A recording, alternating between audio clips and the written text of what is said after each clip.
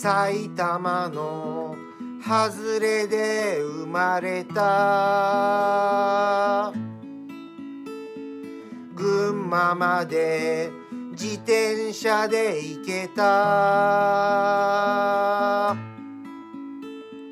なんもない畑の真ん中。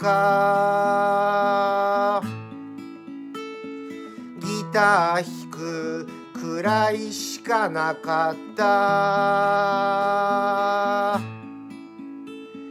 埼玉の田舎で生まれた。群馬まで喧嘩しに行った。早くここから出たかった。高校卒業して町を出た。出る杭は打たれる町だった。出る杭にも慣れずに過ごした。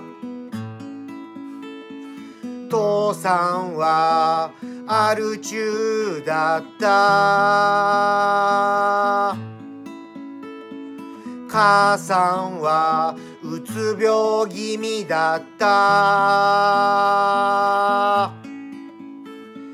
姉さんは爪を噛んでいた。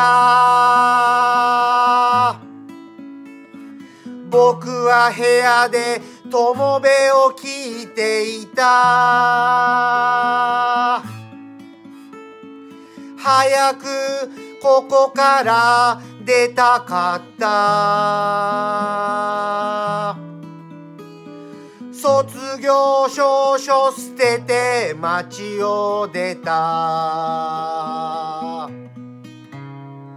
素敵なことが起こる気がしたよ。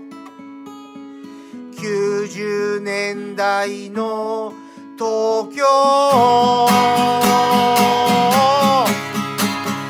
僕はギターを持って高崎線に乗り込みシオンや友部が住んでいる町東京へ向かった。可愛い彼女を置いて。なんかあるかも。なんか見つかるかもって。